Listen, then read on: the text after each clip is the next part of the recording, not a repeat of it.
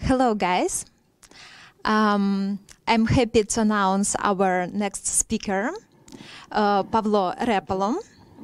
Uh, Pavlo is founder of Edge Cloud Technologies, and uh, today it will be a really interesting topic um, about edge computing.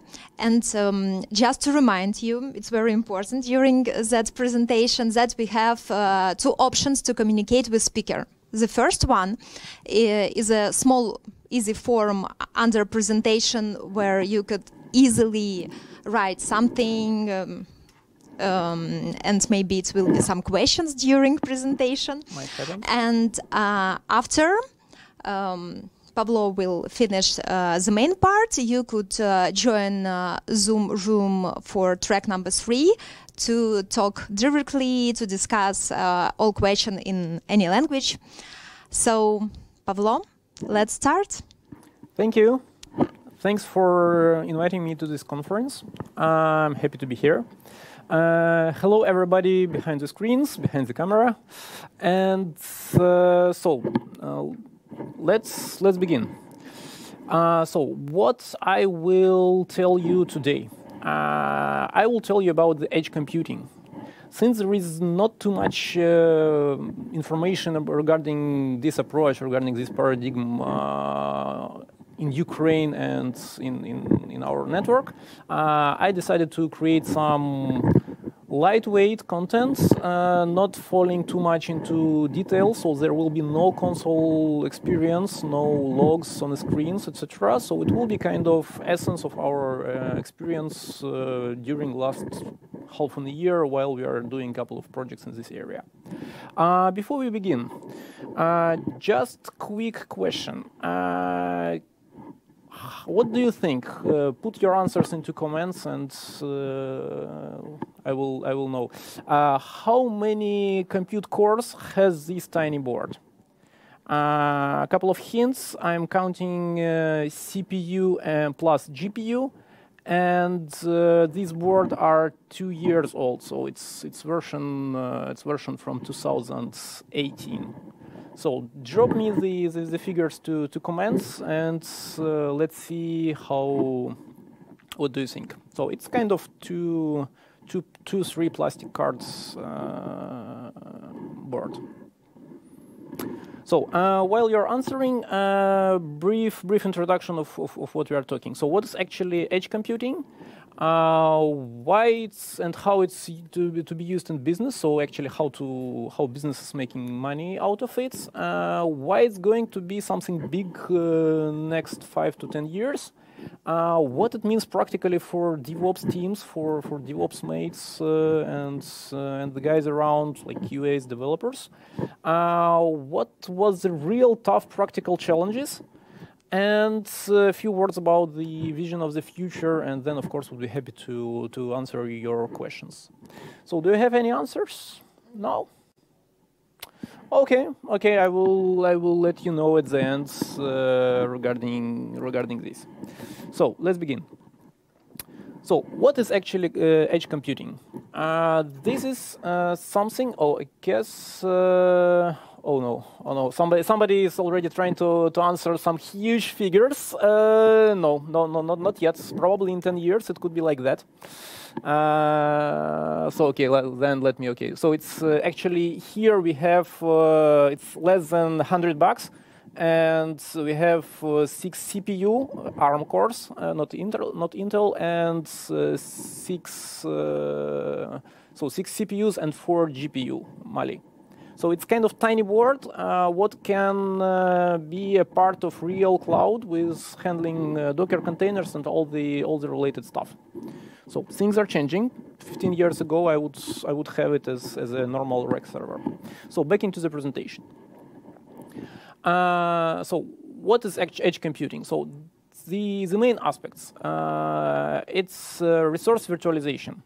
So it's where we already start uh, using uh, virtual machines, uh, Docker containers, any other type of containers. There is not only Docker, as you know. Uh, this uh, proce uh, processing, data processing close to the data origin, uh, so where we are processing data right at their origin and not sending gigabit of traffic to, to, the, to the main cloud. And it's about low latency applications, so it's something which is roughly, let's say, less than 20 milliseconds interaction delay. And it's distributed computing resources, so it's hundreds of thousand devices across. So it's closer to IoT, but it's not actually IoT. And uh, we are assuming that some of these uh, things could operate autonomously. So it's uh, do not requires uh, uh, continuous uh, connectivity to the main cloud. So let's take a look on detail. So this is typical device edge approach. Uh, so what we can see here, so it's a piece of hardware like I've showed before, uh, where we, we, can run some tiny virtual machines, uh, set of containers, uh, group of containers, uh, some bare metal applications, and over some hypervisor, so it could be Xen, it could be KVM, uh, and uh, then we are interacting with the sensors, with the controls. So it could be whatever you could imagine. So it could be robots, it could be some pumps, uh, sensors, cameras, whatever. And uh, yeah, so and let's let's take a look closer. Uh, this the same tiny board. So this is Pine uh, Pineapple Rock Pro 64. Uh, and uh, the difference with traditional clouds and traditional DevOps approach is that uh, we are going to virtualize and to share the resources between different applications, not only about the base resources like CPU, GPU, RAM, network, uh, disk volumes, but also the periphery. So generic purpose uh, I/O. So this uh, these tiny tiny pins uh, on the right side. Uh, some periphery like USB, audio, video connectors, uh, industrial buses. So there are a lot of industrial periphery on these kind of boards and uh, some specific sensor ports like infrared. So whatever you could imagine could be on this kind of this kind of periphery could be and should be managed uh, in order to be accessible, accessed by different uh, applications running over these platforms. Oop, just a second. Looks like we have a bit of issue. Oop. Uh, yeah, sorry.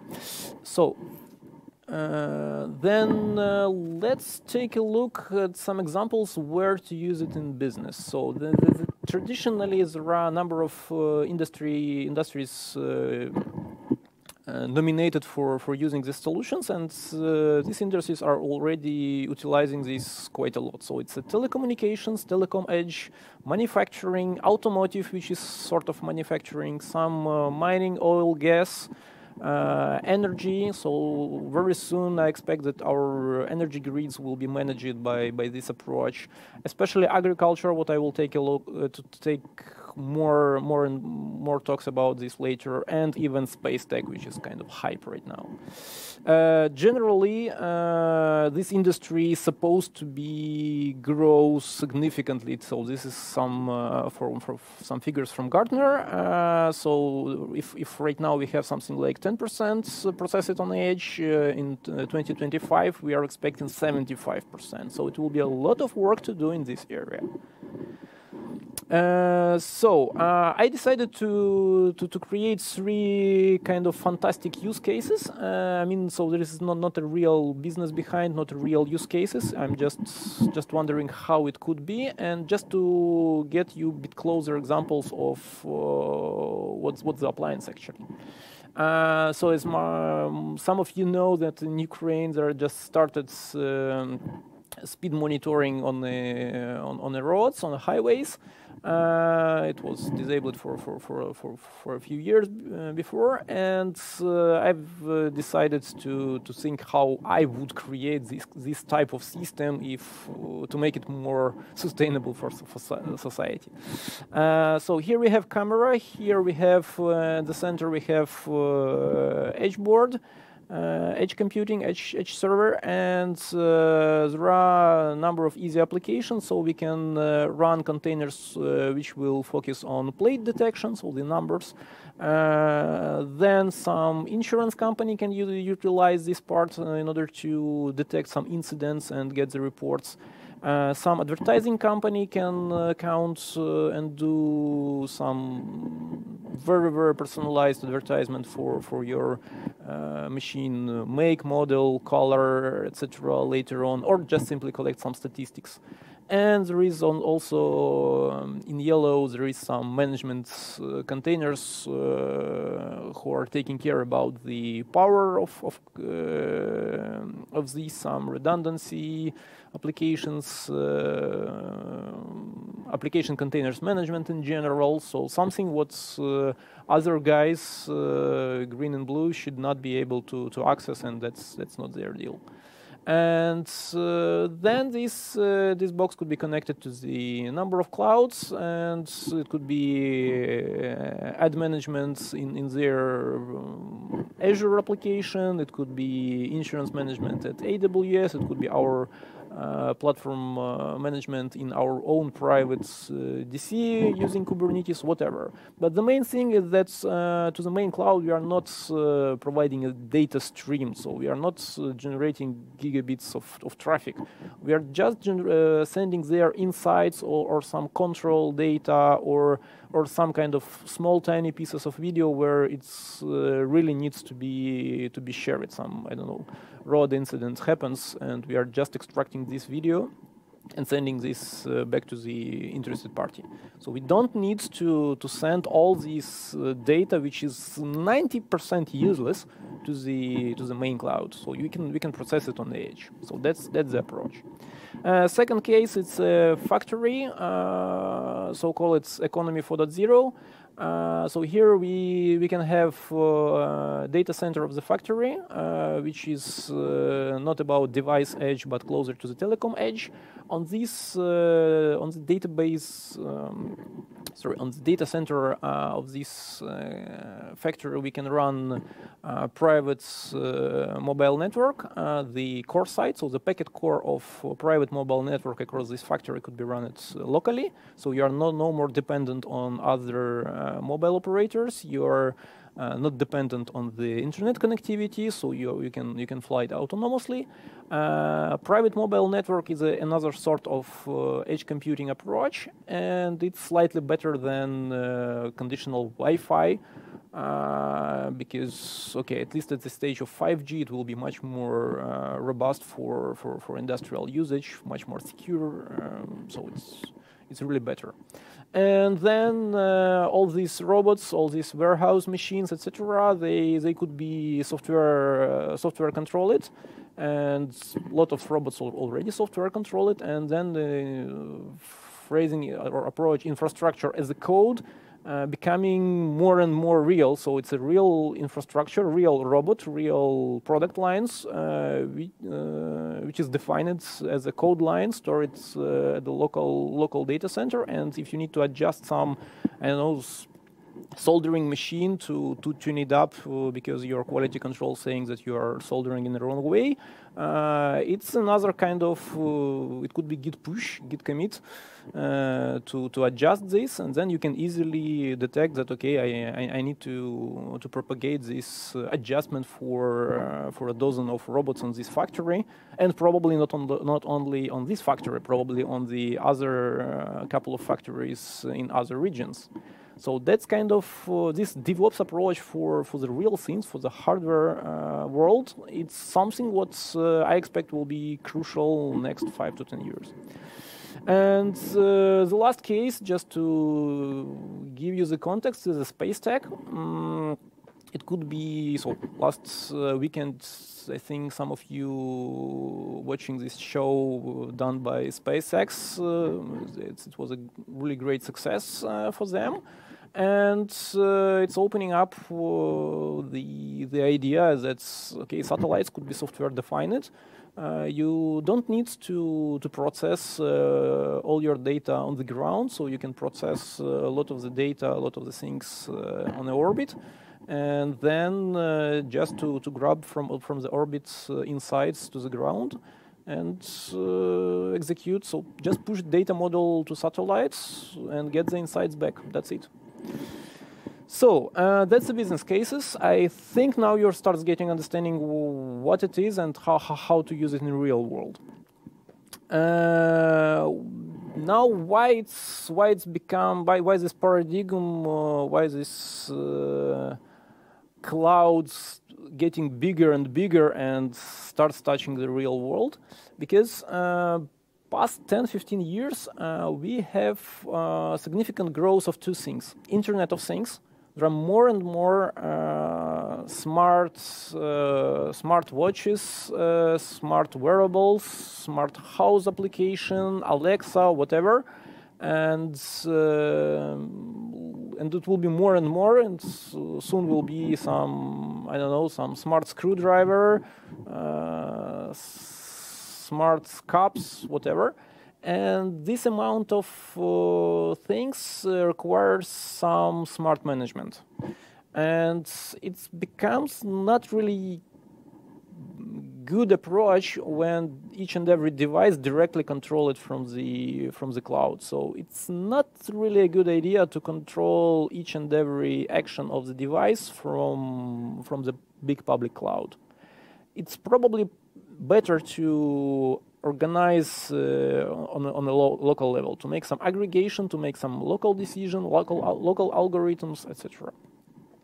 So it's somehow similar to uh, to Android or iOS, uh, where you're getting some smartwatches, uh, installing your app on a smartphone, and then you're controlling this not from from a smartphone directly, but not from the big cloud.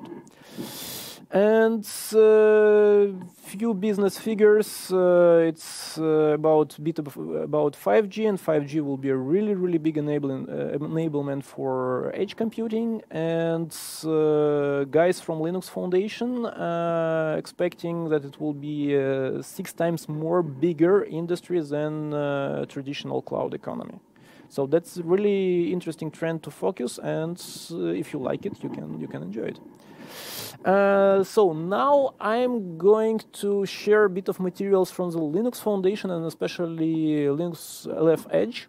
Uh, in order to respect all the copyrights, so all this, I, I, this, this kind of agreed with them um, uh, actions. So they have even tuned up a couple of uh, slides uh, for me last couple of days and I continuously saying that I'm really respecting what Linux Foundation is doing.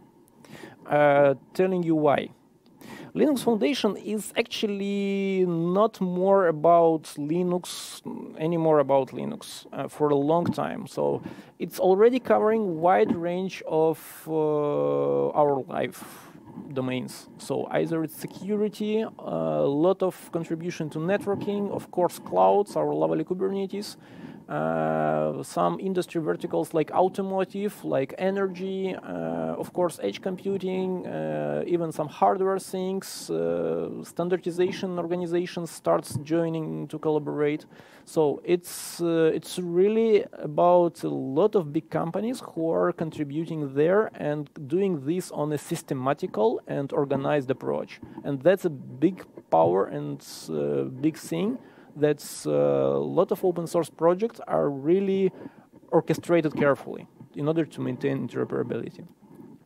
So uh, let's see how they are defining edge. So for them, uh, they are defining, so there are a number of ways to define it, but uh, okay, what, what, what, what I think interesting for me is uh, uh, we are defining from the, from the left to right, so the device edge so it's everything which is closer to the data, everything which is nearby. So autonomous vehicles, uh, some home uh, home applications, uh, mobile, whatever. Then uh, over the last mile of communication over mobile networks or, or, or, or uh, landline networks, uh, we are coming to infrastructure edge, and uh, telecom edge is is all about that. So you're if you're running private uh, private LTE network or private 5G network, then it's uh, then it's pure edge case. and uh, nearby the mobile network operator core, uh, private, private or public network, you can run your payload. And this will remains edge uh, edge computing because it's localized application for some area of I don't know uh, 100 square kilometers and so around a number of uh, base stations or bees and this is this is still edge computing. And also partially edge how they are calling it and i'm tending to agree with it uh, it's regional data centers it's still uh, supporting the activities related to um, to the operations in edge. So this this is not uh, not the case when you are processing your traffic uh, for the data originated in Ukraine. You are uh, managing this data in Frankfurt or Paris or Dublin or even in in US. So it's still regional data centers. Uh, it's still like near near your city, same city, same country at least, and uh, this is partially edge uh, edge scenarios. Uh, then, oh, just a second, something goes wrong.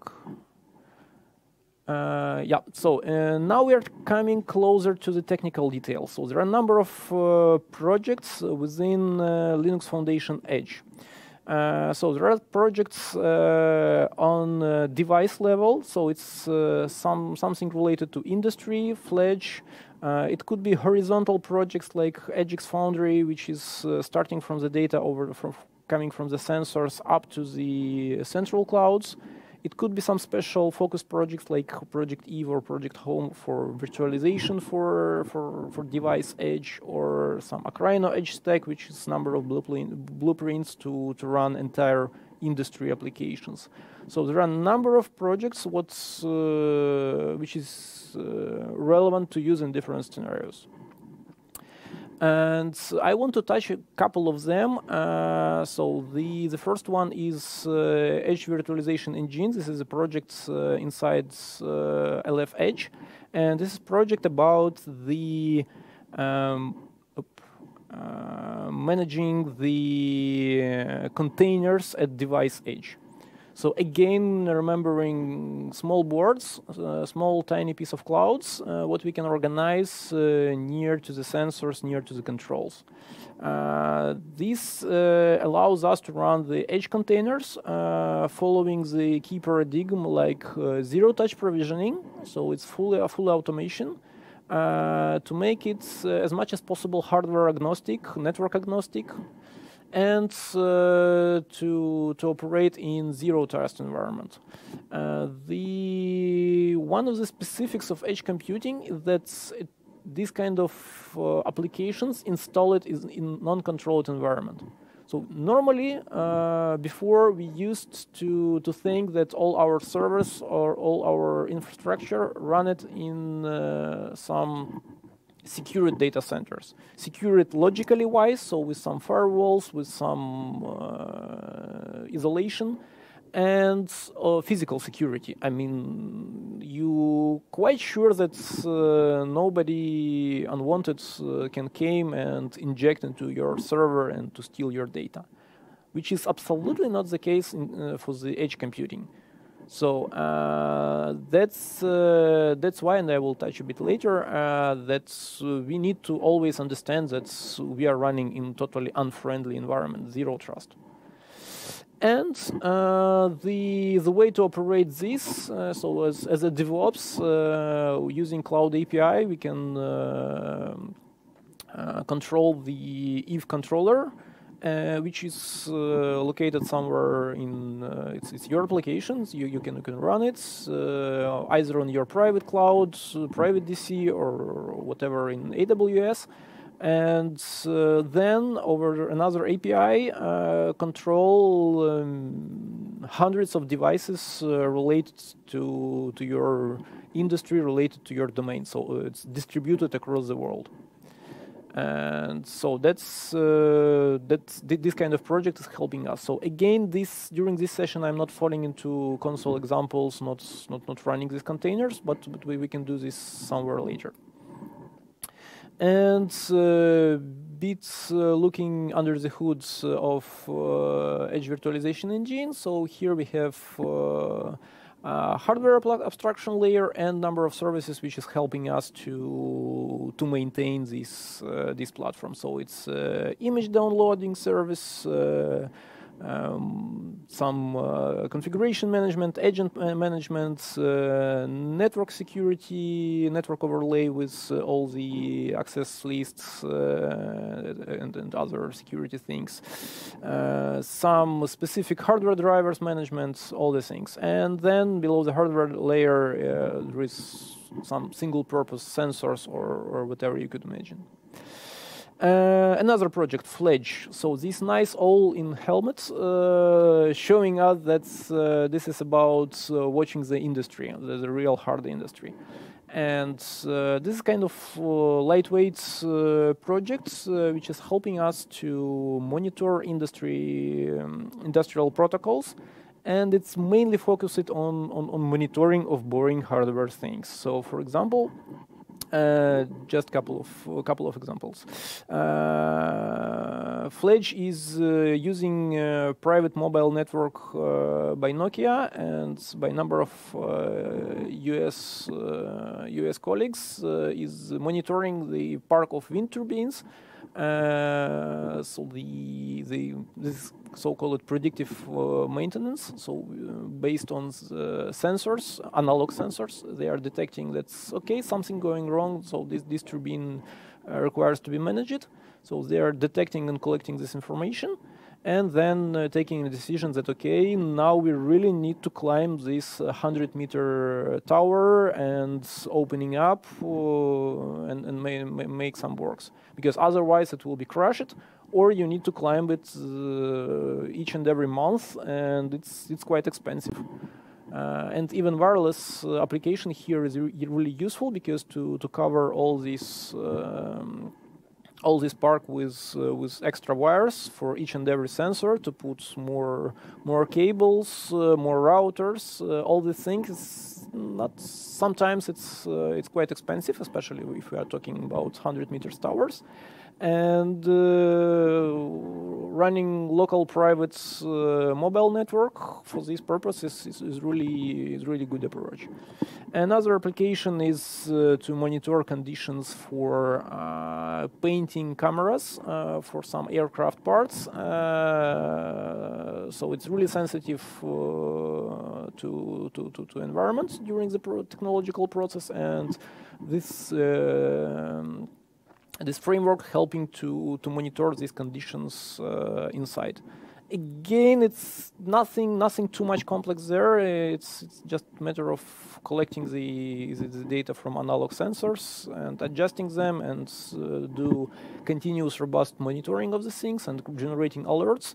But you don't need to invent your own vehicle. You can you, you can use some uh, some really proven open source and uh, and will be faster in delivery of these kind of solutions.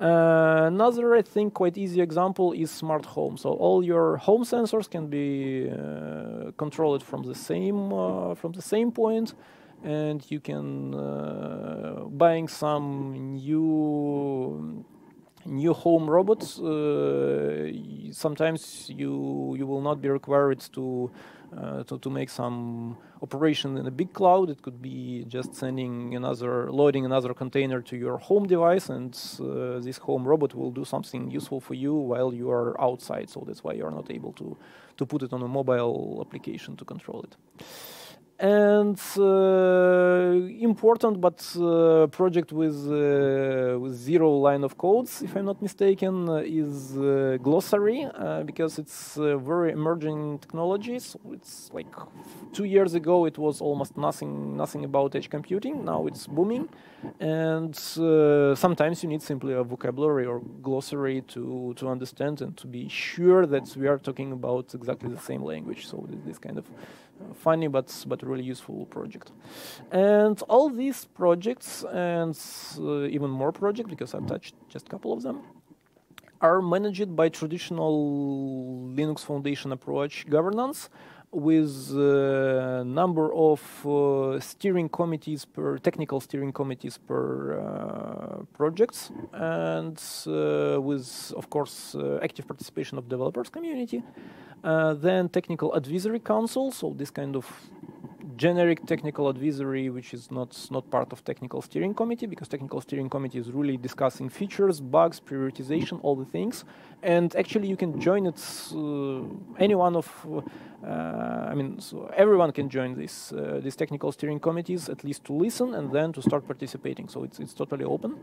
And uh, if, for example, some project you need to tune up something, for instance, in Kubernetes in order to get uh, to get better better integration, uh, then you can escalate it to through the outreach team to to the other teams, to the other communities, to other technical steering committee, and um, express your your need and saying that okay guys uh, for instance kubernetes is a significant part of, of this project so let's let's enhance it in order to enable some of our features. So uh, that's kind of orchestration uh, which is uh, which makes incredible and huge value uh, created by linux foundation that all these open source movements are really really coordinated and this is uh, all the guys in this technical steering committee and developers community, they are uh, employees of participants of the Linux Foundation.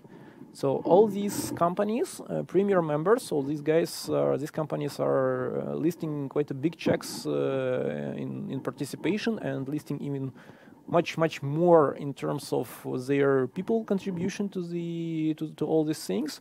And you can see here the most top tier technical companies. So there are all of chip makers like ARM, Intel, Qualcomm. There are IBM, Huawei, HP, Nokia. So most of big guys are there and they are coordinating their activities. So, and that's the reason if you want to, to, to use some framework, better to take this framework out of Linux Foundation uh, governance to, to, to, take it from there, but and not to try and to invent own vehicle because then there is a high probability that uh, this project will support the the hardware of what, what you will choose. So if you are choosing something to be uh, to, to be run over ARM cores, uh, preferably to, to take it from Linux Foundation because then it's uh, high probability that all the features are going to be supported soon.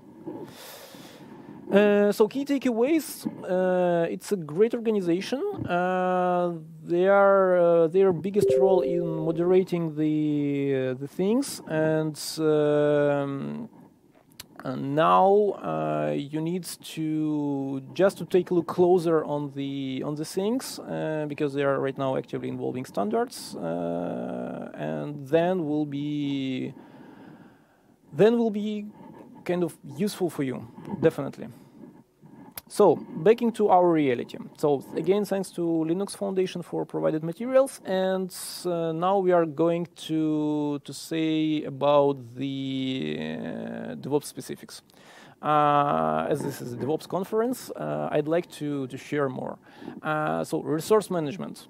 Pay attention once you start starts touching these things take careful attention on resource management, even on the planning level, even on the when you're just starting your project and uh, thinking about that. Okay, probably I want to use edge computing approach. I, I need to, do, to, to buy out buy some hardware for this.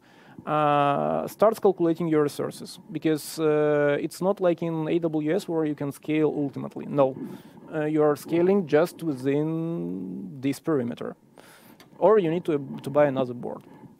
And then another thing, uh, most of use cases assuming ability to, to play autonomous, fully autonomous.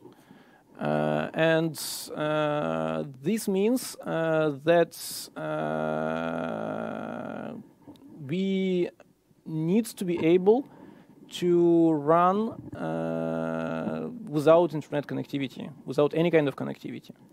And yeah, that's uh, that's the way uh, how how you need to think about these systems. Uh, so, few practical challenges regarding the agtech industry. So, it's agriculture. it's tractor automation and all the things. And now I'm falling to to some details related to the uh, to the practical implementation. So uh, once we decided uh, to, to start this project uh, with tractor automation, uh, we think about uh, should we go edge computing really, or we we can go just just only embedded embedded programming, controllers, all these things. So why we need cloud inside the tractor? And uh, the reason why uh, we decided to go edge computing, uh, it's because it's not it's not embedded versus cloud. It's embedded and cloud. And for embedded, we we still uh, we we we, uh, we still developing a number of things which is uh, related to some single purpose devices. So if it's a single purpose uh, application uh, then you probably need just to just to use uh, embedded approach and that's it. But uh, for example, tractor in a modern modern world is uh, quite heavily digitalized entity.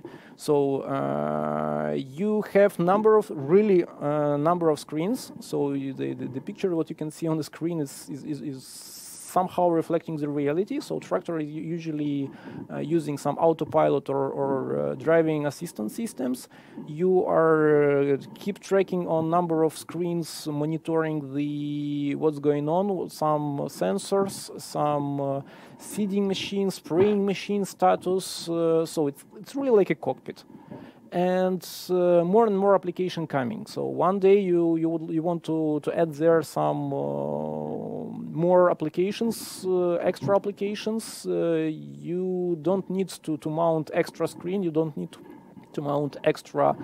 Um, extra extra computing devices so you can do some execution part or some sensors and then bring your container uh, into the local cloud and then operate this way. It will be much cheaper, much uh, faster in adoption, uh, much easier to maintain.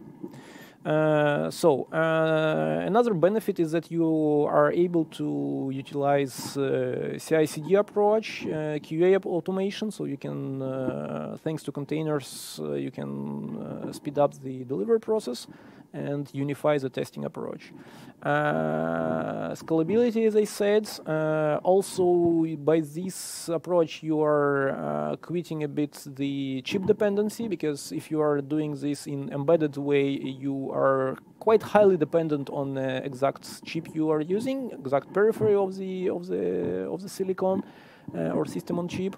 Uh, while using edge virtualization, you are much less dependent on, on, on, on such things at the areas where you don't need this. And uh, you are easily able to bring third-party applications. And again, think about this as, uh, as a Android or iOS uh, phone versus legacy firmware phone from 20 years uh, ahead, before, sorry. Uh, another practical thing, solution development process. Uh, you need to know IoT world. You need to know bit a bit of bit of embedded. You need to know the domain, exact domain specific. So, uh, for instance, for agriculture, there are a lot of things uh, around GPS. GPS is not precise at all. Uh, it's uh, the precision of GPS. I would say you need to consider that it's randomly. Uh, you don't know when your GPS becomes uh, plus minus 100 meters and now it's plus minus 2 meters and it's meters. Uh, in agriculture, the modern trend, you need to have centimeters level. Uh, for this you need, uh, there are technologies, so some real-time kinematics you can do, you can easily have uh, without be some military guy, you can, you can easily have precise GPS with centimeters grade. Uh, but uh, for this, you need uh, stable uh, internet connectivity or private cloud connectivity because there are some special technology in order to uh, adjust your uh, your location and give you some corrections over the over the internet. So you want to have precise GPS? It's possible, but you need to remember that you need, you need connectivity in this case.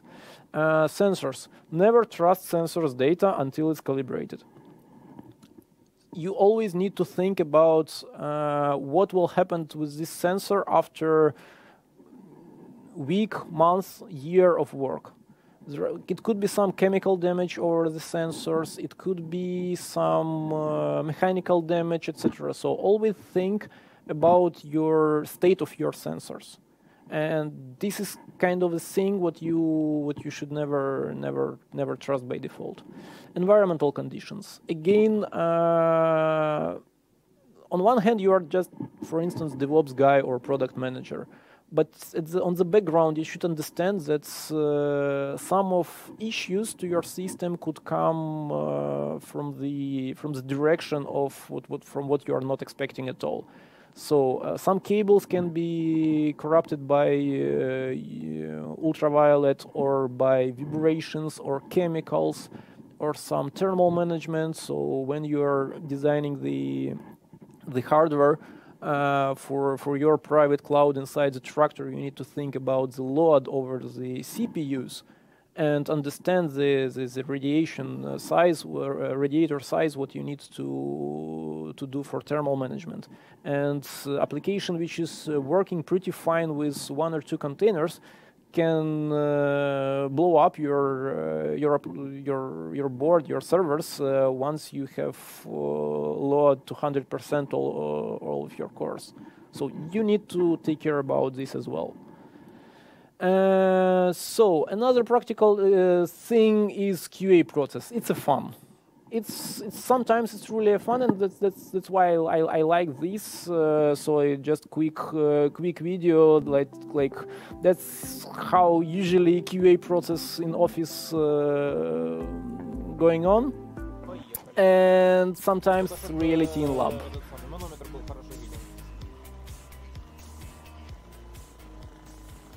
So here we need to calibrate pressure sensor and we are trying to make up to 15 bar pressure on the on the magistral and on on on on, uh, on the tubes and there was a risk of of blowing up the thing. Sometimes happened.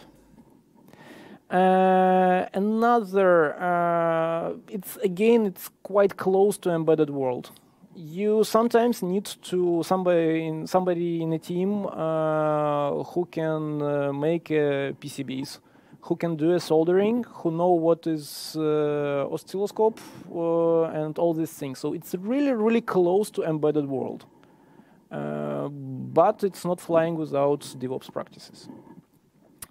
regarding your applications, so you have done nice and working applications, you have tested it, everything fine.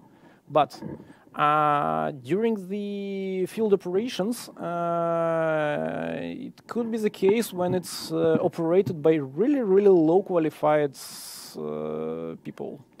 Sorry, but this is a real world. And uh, be ready that uh, if something could be screwed up, it will be definitely screwed up one day if something not designed in a way that it's just plug and play, uh, better to disable it or redesign. If uh, you are allowing user to, to do some uh, unnecessary configuration in menu or whatever, uh, either it's uh, either this interface from the logic point of view foolproof or or disable it. Uh, sometimes it's operating in the middle of nowhere. So this nice curiosity robots kind of example. Consider that uh, your application can be work absolutely autonomously uh, in a region where it's uh, eight hours driving and your customer is running application and uh, something goes wrong and you need to to understand how you will support your customer in this case because uh, it could be a really really tough journey to physically to join him and to understand what's going on. Um, connectivity uh, you're lucky you get connectivity 10 kilobits per second. That's a reality sometimes or it's unstable. So do not expect, uh, unless you are working with, with, with, with, real data centers, but with the device edge, don't really expect that you will be able to continuously get all the wide range of telemetry, stable console access, all these things. just don't expect it. If you get stable 3G uh, on a, on on some uh, mechanical base, uh, I mean some tractor park, it's okay. You're lucky. It's it's saving a bit of your nerves, but uh, be ready that there will be GPRS connectivity or LoRaWAN connectivity, and will be a bit of pain to to, to interact. Again, foolproof design. Um, connectors. If you are designing connectors that it, that it could be mis misconnected, so you are using two, two kind of uh, uh, two, uh, same kind of connectors, uh, and uh, one with power, another one with digital, and uh, mechanically it's possible to to misplace them. It will be misplaced one day for sure. So pay attention on these kind of devi design devices. Uh, mobile network. Uh, one tiny aspect. Uh, you are imagine you are using mobile network. Who is taking care about the balances? Who is taking care about the SIM card management? Uh, who, is responsible for this? So you should you should think on the background and probably uh, make it uh, to inventory the as a in, as kind of periphery inventory also the balance uh, on a mobile account. And uh, last things, upcoming challenges. Uh, execute connectivity as a service, so we want to, to make some uh, eSIM solution, which is quite soon will be available for us. Uh, we want to implement more security and if you are also considering some security applications, uh, take a look on Keylime. So secure boots, uh, this is definitely a good project for secure boot and using of TPM. We can discuss it on uh, during the Q&A sessions if you like. And uh, computer vision over the rows, uh, dataset collection, also good, uh, good point for edge computing. Uh, so these kind of things, again, it will be this over this mostly the same hardware or the mostly the same thing. You can uh, we can unite uh, a lot of different applications into into one box, and that's that will be the case in the future. So uh, I think generally uh, that there will be a great future of these kind of applications. If you enjoyed uh, the presentation, feel free to ask uh, more questions. Uh, welcome to Zoom room after. And uh, if you really enjoyed, connect me in LinkedIn. So soon I will announce Edge Computing Meetup. Uh, it will be first Ukrainian edge computing meetup. I still not decide whether to, to make it uh, virtual or uh, physical one. I would be happy to, to make it physically, but we'll see, depends on, on, on, on, on COVID. So thanks for your watching quick special thanks to all the all the team on Edge Cloud Tech, to especially to Linux Foundation, LF Edge, and Toronto Space Studio for the design of this presentation, and of course for DevOps, the, the DevOps Fest team who is organizing this kind of nice event. Uh, Pavlo, thank you so much for your presentation. I realize that's it's a new challenge for all of us who are trying to support community in uh, such conditions. So, uh, was it difficult for you to have your presentation in uh, such studio format?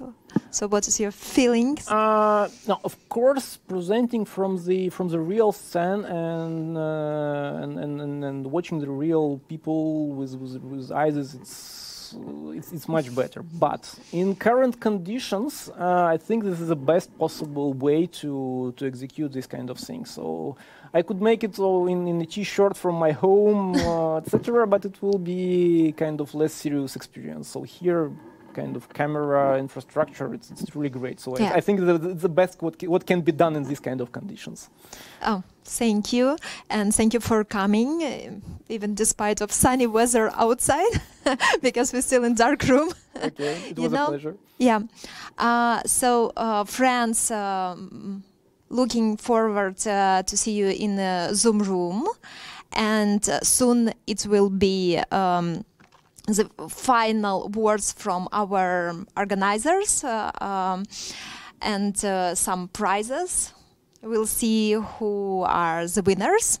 So thank you for being with us for whole uh, the presentations today. and uh, see you next time. Bye. Thank you. Bye.